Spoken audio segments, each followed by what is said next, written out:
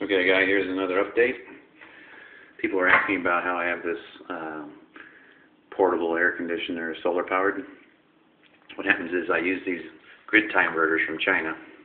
Little thing here, I got uh, solar panels outside. You run them inside and hook them to the positive and negative their terminals.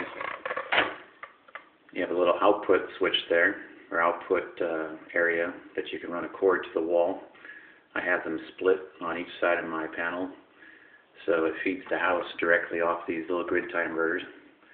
So during the day when the sun's up, this little uh, in-wall or in-window air conditioner, it draws about 550 to 580 watts when it's running.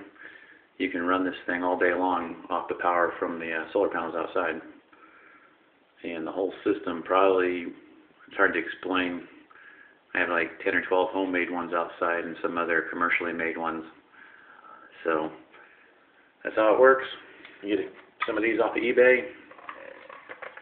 Pretty easy to hook up. It's not legal for the uh, house wiring, but I've had uh, nine or ten of these things running for a couple years now, and I haven't set the house on fire, so nothing's burned up or caught fire or anything like that. The only problem I usually have with these inverters is the uh, cooling fan. Every once in a while, it will just go out because it runs, but that's not often and it's only on certain models. So if you guys have any questions on how to uh, get your free air conditioner this summer, let me know and I'll help you guys out. Thanks for watching.